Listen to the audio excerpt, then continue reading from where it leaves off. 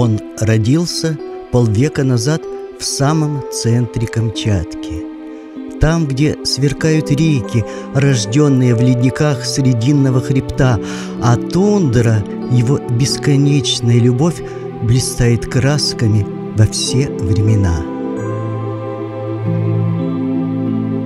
Природа способна сделать художником каждого, кто пришел на эту землю. Важно лишь иметь зоркий глаз, широкое сердце и непременное осознание того, что ты единственная и крайне важная частичка мира, где обитали твои предки, где продолжат жизненную цепочку твои близкие и очень далекие потомки.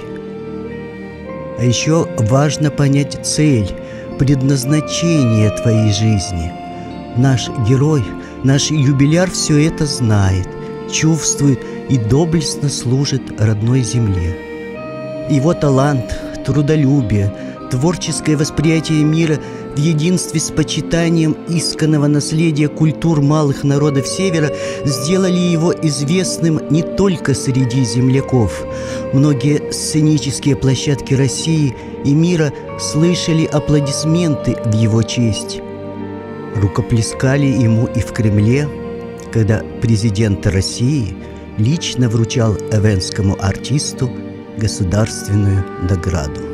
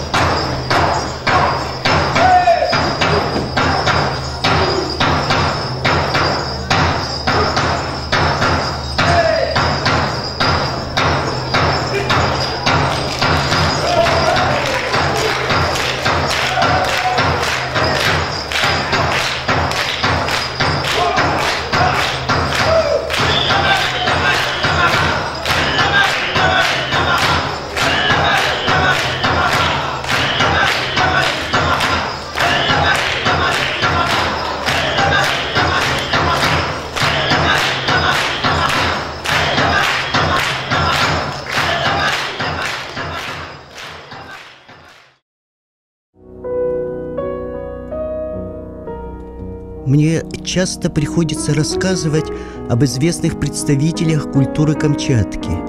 И частенько я испытываю одну и ту же трудность – отсутствие фотографий, сделанных в детстве, в юности. Кирилл Ичанга не исключение.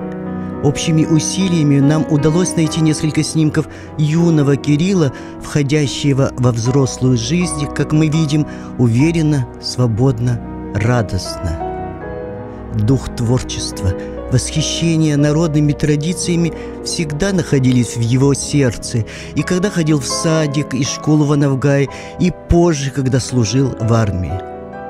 Блистательный знаток эвенской культуры Лилия Егоровна Банаканова оказывала сильное влияние на развитие национального самосознания своих земляков – тайны древних обрядов, настоящая магия северных ритмов и мелодий, уникальность ивенских нарядов – все это пленяло и создавало в маленьком селе тот необходимый и гармоничный фон, в котором крепнет и богатеет душа. Но чтобы стать мастером, надо учиться. Чтобы учиться, важно иметь ярких, опытных учителей.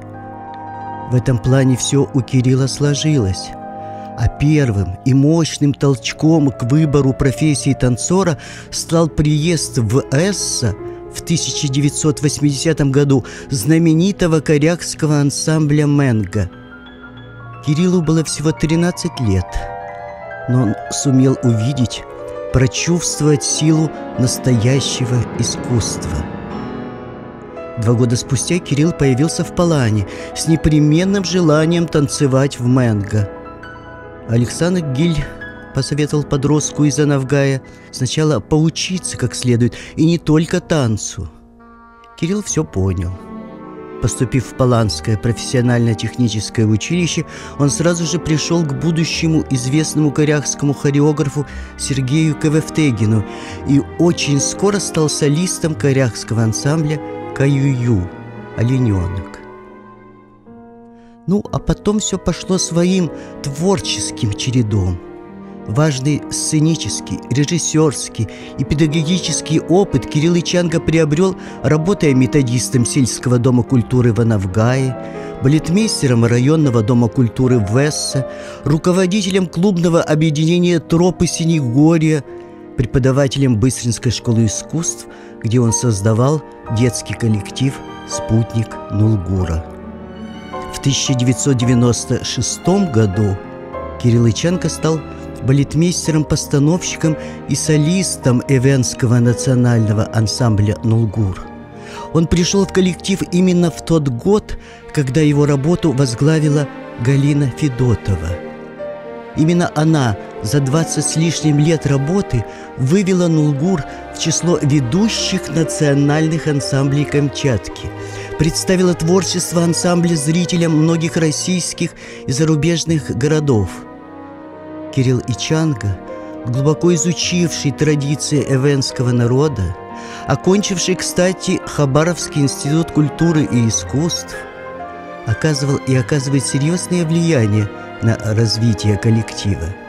Он мастерски солирует во многих хореографических постановках, ставит авторские концертные композиции – регулярные поездки по отдаленным поселениям Камчатки, посещение оленеводческих стойбищ, крепкие личные связи с носителями древних традиций позволяют артисту глубже познать тайны материальной и духовной культуры аборигенов и использовать свои наблюдения в творческих и исследовательских работах. Наиболее яркий творческий прорыв совершил хореограф в создании с коллективом ансамбля «Нулгур» этнографического спектакля «Путешествие шамана в иных мирах», где Ичанга явился автором либретто и постановщиком. Этот спектакль продолжил традицию крупных национальных постановок, начатую около полувека назад ныне знаменитыми ансамблями Менга и Эльвиль. Крупная работа Кирилла и Чанга имела большой успех на сценах Камчатки и в 1999 году в Германии. Она же была отмечена диплом лауреата за лучшую режиссерскую работу на первом Всероссийском фестивале фольклорно-обрядовых театров коренных народов Дальнего Востока. Спектакль «Путешествие шамана» поставленные Кириллом и Чанго, в разные годы снимали знаменитый кинопутешественник Юрий Сенкевич, кинодокументалисты из Санкт-Петербурга и даже английское телевидение.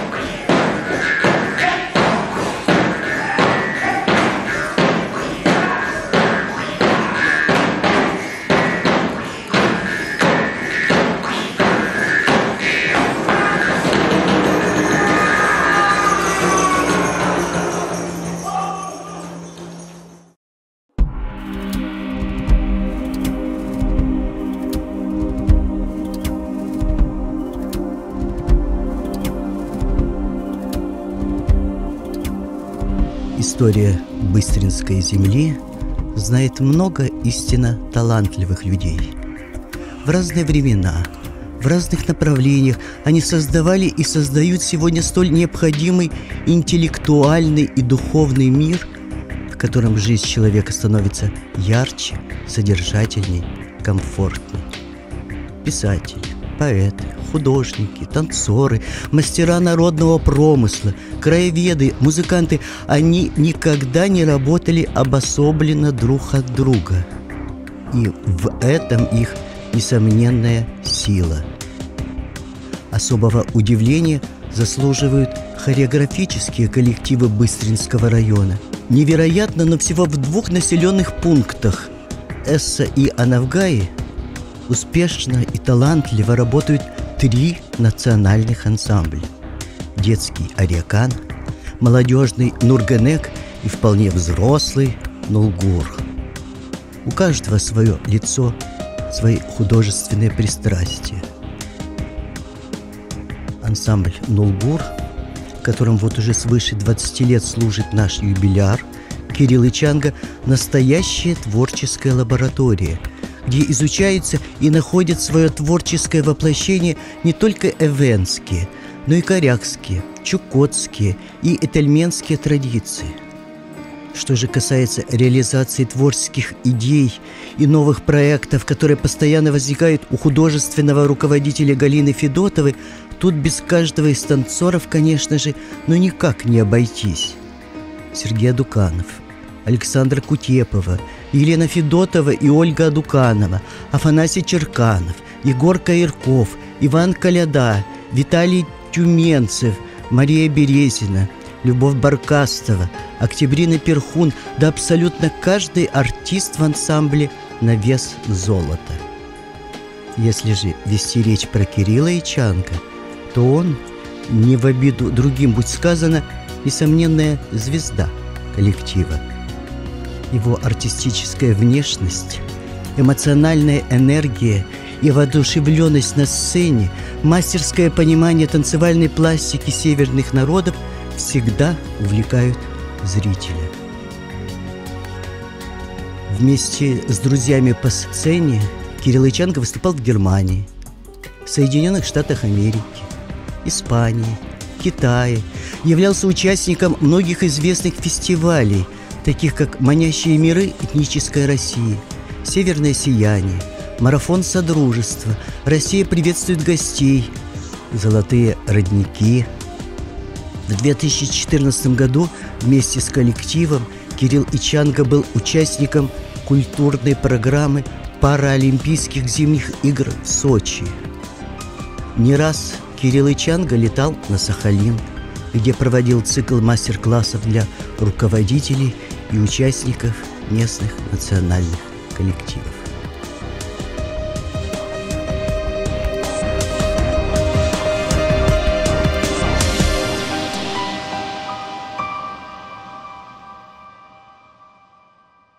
Уникальный танцор 20-го столетия Махмуд Исамбаев утверждал, танец любого народа выражает его самые характерные – самые высокие и прекрасные черты.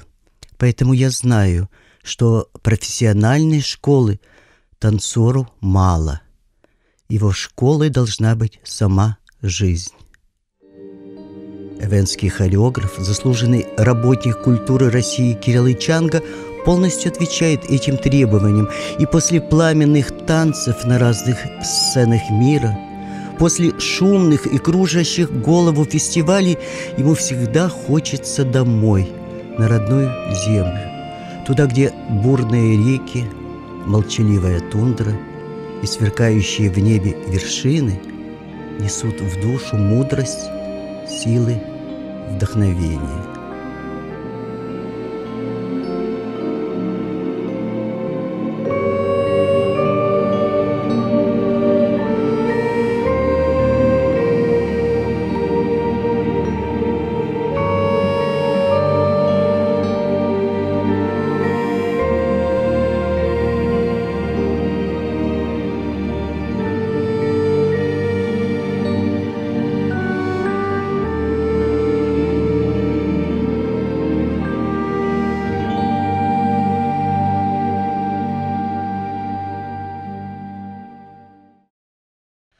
Годы летят.